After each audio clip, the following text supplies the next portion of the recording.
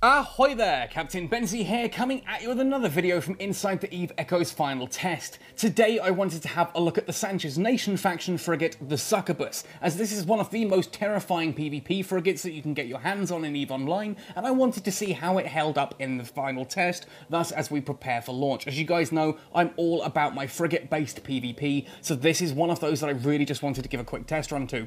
Now, before we jump in on this video, if you do enjoy it, let me know at the end by hitting like on it. Subscribe to the channel for all things Eve Echoes and ding that notification bell so that you know when the next video goes live. Now, if you've got a particular video you'd like to see me make, a topic you'd like me to cover, a question you'd like answered, a, ship that you'd like to see how I fit and what I think about it, let me know in the comment section below or on the social media channels shown at the bottom of your screen now.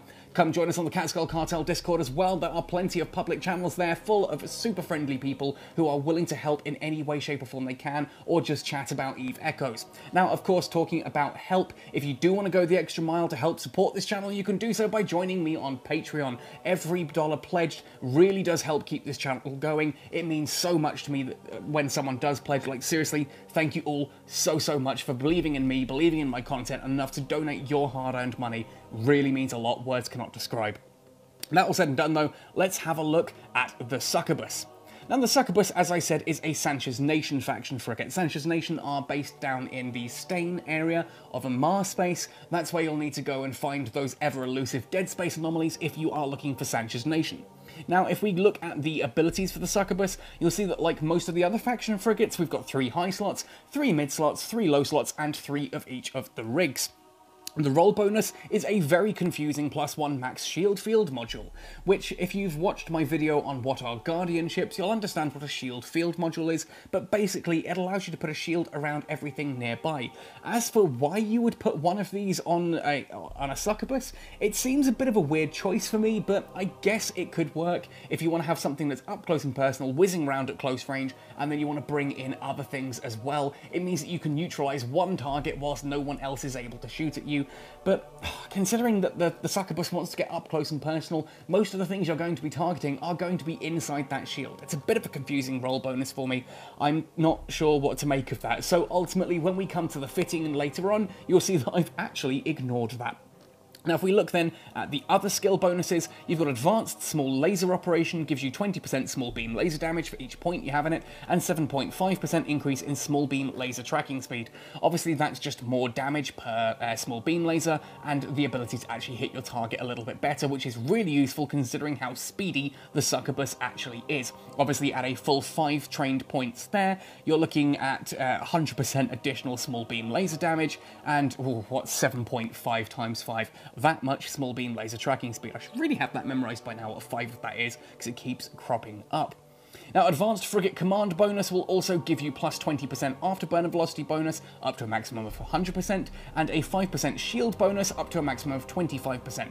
That means the shield suddenly becomes a lot better on this ship, um, you become a lot tankier with it, and that afterburner velocity bonus is the key point of why the Succubus is so terrifying in uh, frigate-based PvP. Now, a frigate like this is normally fighting in warp scrambler range, which means you are locked down in place, you cannot activate your warp drives, you're not going to be able to get out of that combat easily, that also includes your micro warp drives. Now, what this means is that the afterburner, if you equip an afterburner to this ship, it is on par with, if not better than a micro warp drive, and when you're in warp scramble range, you can still activate an afterburner. That means you're incredibly difficult to hit, even if they've locked you down. You're whizzing around like you've got a micro warp drive active, but you, you can do so inside the warp disruptor range. That's huge. That's huge because it makes you really darn difficult to hit. And looking at the rest of the stats here, you can see a standard flight velocity of 414 meters per second. Ultimately, with a 5 AU warp speed, this is one nippy little ship. Now the power grid and the capacitor are both fairly small, um, especially considering this is a laser-based vessel, um, but they're not terrible. They're not terrible, though for the build that I've gone for that I'm going to show you in a moment, you will see that if I go across to the rigs, I have had to put on a, an ancillary power grid router, as I needed just a little bit of extra power grid. And we'll talk about the rigs later on, but you'll see that I've just had to boost that there. Now, because of the skill bonuses to laser turrets, the small beam lasers, of course I've gone for the Imperial Navy small beam laser. That is the best one I could get into these slots. I had three of these kicking around. Decent optimal range of 12.1 kilometers, a decent enough accuracy fall off. Obviously, Amarr lasers tend to have a very high optimal range, and then the accuracy fall off is very quick and very sudden. Here, tracking speed of 212 as well means you can keep firing at anything that you're up close and personal to whilst you're whizzing around it. Now, in the mid slots, because I'm going to be whizzing around things, I want to be able to hit it, I want to make sure that the transverse velocity is good on my end and not so good on theirs, that they're not moving as fast in comparison to me. I'm going to do that with a Mark 7 Stasis Webifier. That is going to drop their movement speed, their flight velocity down by 53%. They're going to be moving at half the speed they normally would. I'm very happy with that. Second thing along is a Mark V Small Energy Nosferatu. I'm using this to make up for the fact that this ship does not have a huge capacitor. This means that when I'm up close, I can be draining their capacitor and putting it in and feeding mine with it, which is always incredibly useful on a ship like this. And the third and final slot is of course the Mark 7 Warp Disruptor. Yes, as I said, a faction frigate is going to be fighting in Warp Scrambler range, so 100% I want to have a Warp Scrambler of my own. It sucks that if they're going to scramble me, damn straight I'm going to scramble them right back. Now for the low slots as well, a Mark 7 heatsink just gives me a little bit of extra punch to have um, with my laser turrets. The Mark 5 medium shield extender, um, ultimately the reason I've gone for this is because obviously as a shield tanked vessel, I want to have as much health as possible, and I can fit a Mark 5 medium onto this ship. That is a massive, massive amount there for me to get that onto there. I can really boost my uh, my shields up. You can see here, 1744 shield increase. That's pretty huge. And of course, the final slot is an afterburner because of those whopping great big afterburner bonuses for 100% extra afterburner effect. Here you can see 314% flight velocity adjustment. I think that actually works out then at what 628% I actually get when that's activated. And looking at this, uh, like at the flat stats on this ship, you can see it's a little bit weaker than my Dramiel at 185, uh, 87 DPS. The defense, mainly shield there, is 78883 um, with 4326 on the shield and 1312 uh, on armor. Um, your armor on this is pathetic, and structures, in fairness, not much worse. Um, but the shield is where the big thing comes in. Obviously, with that shield extender as well, I can boost that right out the wazoo. It is capacitor stable and a flat navigation speed there of 55, uh, 558.9. Now when I actually pull this out into space you'll see that that does go right up once I've got everything active. Now, if we then go back into looking at the rigs, all I've done for these is what you would expect. I've gone for accuracy fall-off adjustment on the lasers, um, mainly because I just didn't have three of the other rigs handy. Power grid requirement adjustment was just a nice thing, again to help me fit a few more of those in there. And a damage uh, laser collision laser collision accelerator. Woohoo, that's tough to say. Laser collision accelerator for an additional 12.5% damage. Obviously, if you can get high power rigs on this, the better. I'd have loved to have get some Mark 3s on there, but they are stupidly expensive. In the low slots as well, I've gone for a hyperspatial velocity optimizer, just because I had a couple of these lying around, and that additional warp speed increase is always nice, um, and a dynamic fuel valve just to reduce the amount of capacitor required to activate my afterburner. Simply put, I'm going to be using an afterburner, let's make it so that it doesn't use as much of my uh, capacitor, you know?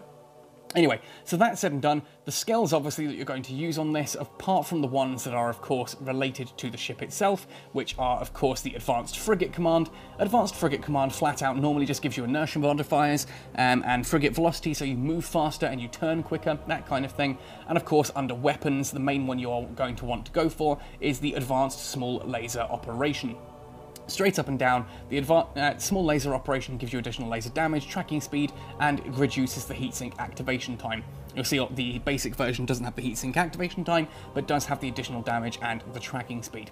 Upgrade is always worth, worth having as well. If you're going to be using small lasers, you may as well increase the damage that little bit more, increase the accuracy fall off and the optimal range there, just by having those. Ultimately, you would probably want to take this up to advanced as well. That is just going to give you flat DPS increase to your succubus. Now, of course, beyond those, Fr uh, Frigate Engineering just helps you deal with the power grid and the capacitor. Obviously, very, very useful, especially on an energy turret ship. If we go into shield operation, that's one of the things you're going to want there, just to help you use those shields a bit better, or shield extenders, that kind of thing.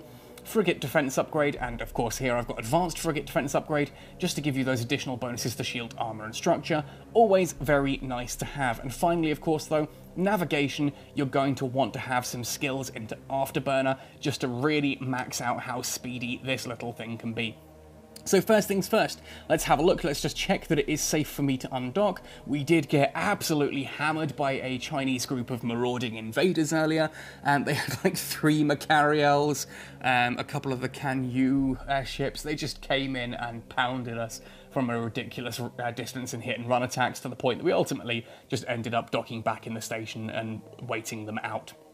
Anyway, so here we are out in space now. If I pop on all of these different things, and we'll have a look at its stats there, so I pop on all of those, then open up the fitting, you'll see already that the shield has shot right up to 7,883. Uh, the defense has, has added another whack up to 228 thanks to that heatsink, and the navigation speed has gone to a mighty 2,176. This thing is ludicrously nippy. Like, the speed that this thing operates at now is just terrifying, although that did kill about 62%, well, killed off 30, 40% of my, uh, of my capacitor to do so.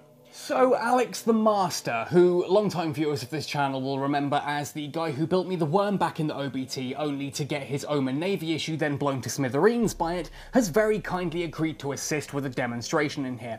So what he's done is he's grabbed a Kan-Yu class battlecruiser and has jumped out to a nearby planet, which I'm going to warp to and blow up. I did think a lot of you guys might enjoy just seeing a Kan-Yu class battlecruiser getting destroyed, as I know a lot of you are pretty infuriated with how ridiculously powerful that ship can be. So here we go, I'm going to warp in now to uh, N7BIY-1 at a range of about 30 kilometers away so that we can see whether or not there he is. There's Alex, we're going to lock onto his target as soon as we get into range. Okay, he's warped in at a distance as well, awesome. Time for me to get into position, orbit, put on that afterburner and see how close we can get to him and how quickly then we can strip through all of his fittings. So let's get the warps and everything else equipped onto it there, hitting him hard, everything's locked in position. Now, ultimately, I know the Kan-Yu itself can't actually, uh, it's got a decent warp stability of like a plus six, so we're not going to be able to destroy it. There it is there. You can see it is webbed down. It's got the, uh, the warp disruptor on it as well, so theoretically, if this only had a warp stability of zero, yeah, if it only had a warp stability of zero, he wouldn't be warping away at this point. Ultimately, a Kan-Yu class battlecruiser does have that additional warp stability bonus, so it can stay here for a while. Let's up the damage. Now, ultimately, if Alex is going to open fire at me, he's not going to be able to hit me at this point in time. I am too close and moving too fast around him. You can see I'm hitting almost 2,000 meters per second in a direct orbit at 6 kilometers away. His acting on screen now, I know, is absolutely atrocious, but there we go. Ultimately, the point of this all now here is, yes, if he were any other ship, he is now uh, in position because he uh, is going to be held in that position by the warp disruptor. The stasis webifier is then going to stop him from actually moving around particularly fast and just keeps him in position for my turrets to lock onto as well. The uh, the energy sorry the energy Nosferatu is draining his capacitor and bringing it into mine, which actually, in fairness, is a very important it's a very useful thing to do against a Kan-Yu class battlecruiser, simply because it, actually has surprisingly low capacitor. So ultimately, yeah, it's not the... Obviously, a Kan-Yu has a lot of effective HP. It's going to take a long time for me to pull down, but you can see I am getting the damage there, and if this were an actual situation where this cruiser were opening fire on me, it's not going to be able to hit me at this close range. So, as I've mentioned in other videos, it's kind of that, you know, death by a thousand cuts. He can't get away, he can't hit me, I'm just left here to rip him apart with impunity. And so here we come now down through the final little few hits of the armor. Let's put the, uh, the heatsink back on through the final hits of the armor, and we're going to start dealing some damage to the hull. Now, I have zoomed in here, because again, I know a lot of you are really annoyed by the Kan-Yu. It's one of those ships we all want to see get blown up a couple of times. I love this ship. I do think it's a beautiful ship. I think it's got some fantastic stats, but I do think it needs to be nerfed just a little bit for live. I mean, heck, I've managed to get this up to a 215 kilometer range on its turrets, um, which I might do another video on. But ultimately, yeah, I'm now going to pull through that. I just want to see this thing blown apart. We've had so many of these cause us problems. That Chinese fleet earlier, my goodness. They just pounded us. They came in at about 100 kilometers range, would hit us with a couple of salvos, and then disappear there. Can you not kill my pod? Goodness gracious me, can we stop with the can you jokes already? It's like, it, it's getting old at this point. Let's zoom out, you should be able to see my succubus doing the orbit around. There it is. Whee! Super speedy little ship, just cannot take any damage whatsoever. Um, we're slowly getting through that hole. Again, sitting at six kilometers, just whizzing around. Come on! Come on, little can you? I've been waiting to see one of these pop for a long time. No, Alex, that pun will get old. The pun already is old, and I've used it on a thumbnail for crying out loud. Let's get that heatsink on one more time. Yeah, okay, so it does take a little bit of time, as I said, to get through a Kan-Yu, but for a succubus itself, I mean, we're looking at a damage there, as I said, what, it's only around about the 200 mark, 230 DPS. He's held in place, or would be if he didn't have the stability of the, the Kan-Yu has. Any other battle cruiser it would work with. Um, and here it is, any moment now, one, maybe two more salvos, maybe three salvos. Here it comes, here comes that explosion we've all been waiting for to see a Kan-Yu battle cruiser go boom. And there it goes. Kablooey. oh, that's satisfying. All right, well, let's get the camera back onto me in the succubus. I love this little ship. It's so ridiculously speedy and fast. Huge thank you to Jade Zion for lending me this thing. Off goes Alex. Thank you ever so much for letting me blow up your Kan-Yu. I know he's going to go and uh, like pick that back up again um, using the insurance, and I know he took his turrets off for that exact purpose. So thank you, Alex, for letting me do that. Thank you, Jade, for lending me this ship. I hope this has inspired you guys to give a succubus a chance. Again, I couldn't really showcase the the the whole um, the, the can you dealing uh, doing the shots and missing just because I didn't want to risk it with uh, someone else's ship but I'm sure once we get into live I'll be flying a succubus and I will showcase that actually properly um, in, in, use, in use. I will be doing a lot of videos, I imagine, in live, going through and just showcasing uh, frigate-based PvP, because it's what I enjoy doing. I did a couple of them during the OBT. Some people seem to really enjoy those, so I imagine I'll be doing a few more of those. I'll just record whilst playing um, and blow some cool stuff up. Anyway, folks, thank you ever so much for watching. Hopefully that's inspired you to try out a succubus. It's one of my favourite faction frigates. There's Alex taking photos and sending them to me. Should put myself on Do Not Disturb while doing all this, really. But anyway, thanks for watching, folks. Happy sailing, and see you in New Eden.